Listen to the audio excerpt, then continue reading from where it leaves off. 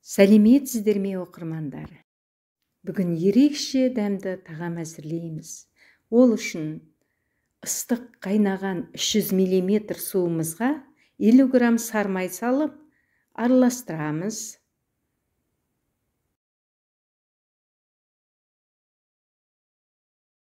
Енді бір ас қасық тұз саламыз араластырамыз.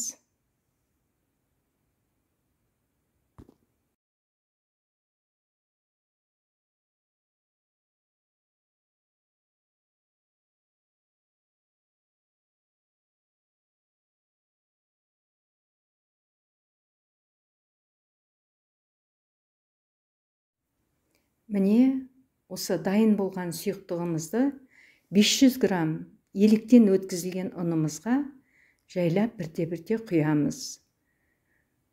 Өте ыстық сондықтан қасықпен араластырып алғанымыз жөн. Міне осылай бірте-бірте қамыр дайындаймыз.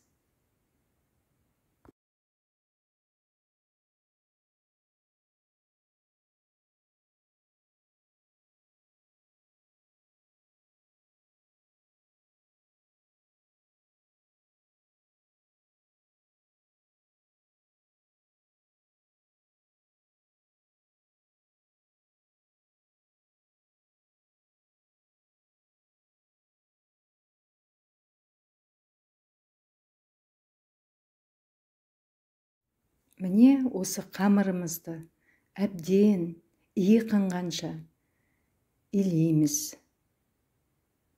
Өте әдемі мықты қамыр шығады. Себебі ыстық сумен және сармай салып иленген қамыр өте әйбат болады.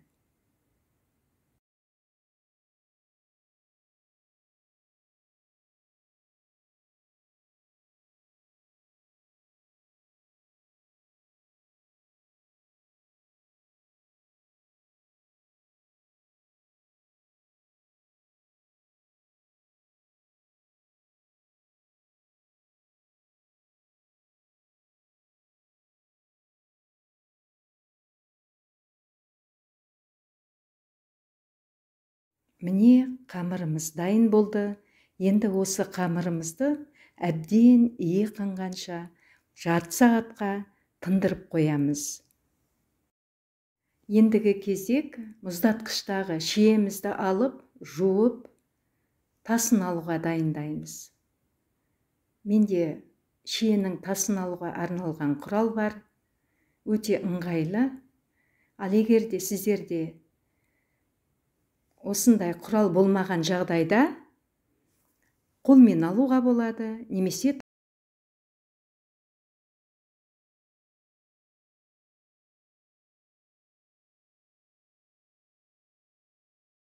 қымбатты оқырман менің каналыма қолдау білдіріп тіркеліп комментарий жазып лайк басып қойыңыздар. Мені қолдағандарыңыз мені шабыттандырады.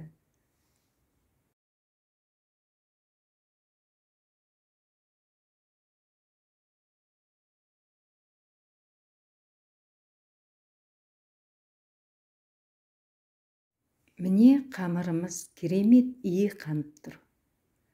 Сонда да бір басып қоямыз.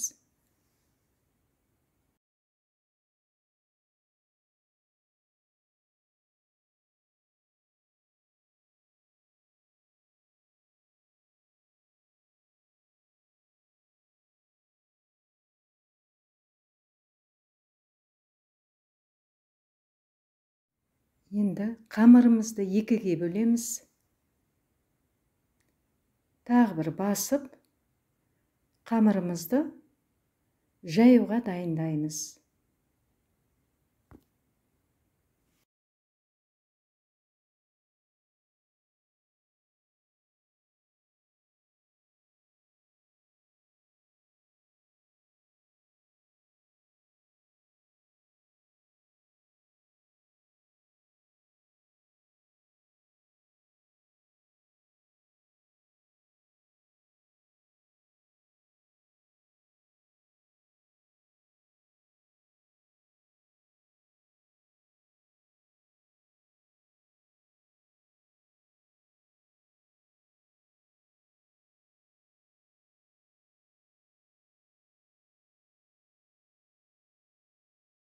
Қамырымызды ысқанда қамырымыздың қалыңдығы қалыңда емес жұқада емес болғаны абзал.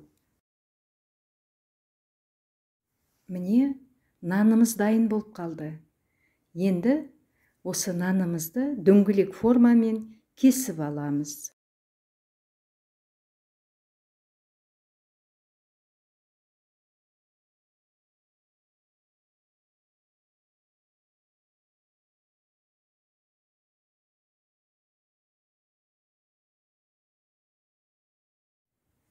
Міне дайын болған дөңгелек нандарымыздың үстіне үш қасық қант пен жарты қасық корицаны араластырып нанымыздың кішкене орта тұсына қарай бір қасықтан салып орналастырамыз.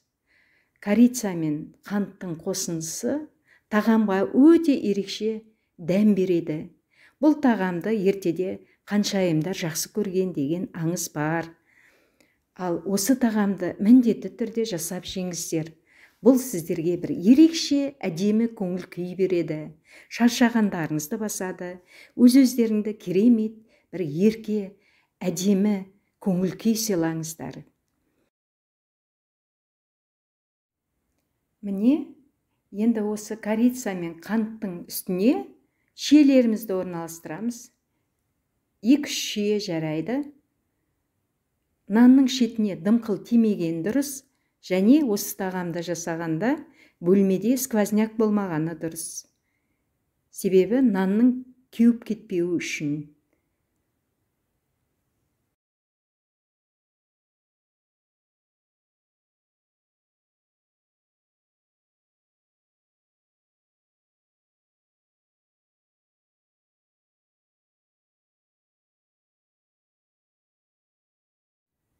Міне енді жабыстыра бастаймыз. Дөңгелек қамырымыздың салмасын салып болған соң ортасынан бастап жабыстырамыз. Бұл вареникиді мен қарапайым әдіспен жабыстырғанды жақсы көремін. Себебі шетін бүреп жасауға да болады бірақ қамыры қалыңдау болып кетсе дәмсіз болып қалатын сияқты маған. Сондықтан осы қарапайым әдісті қолданамын. Міне керемет вареникіміз жасалып болды. Енді қазанымызға аз ғана тұз саламыз. Бұл вареникиге өте керемет дәм береді. Міне суымыз қайнады. Енді бір бірлеп вареникімізді саламыз. Аз аздан салған дұрыс.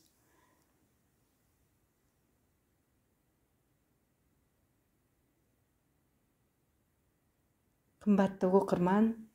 Видео ұнаса лайк басып комментарий жазып каналға тіркеліп қойыңыздар. Міне вареникімізді енді араластырамыз асты жабысып қалмас үшін. Орташа отта 5-7 минутта дайын болады. Міне дайын болды. Енді сүзіп аламыз.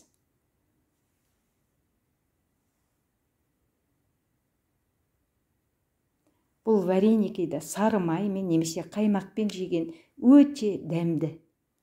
Иісі мұрын жарады. Дәмі тіл үйіреді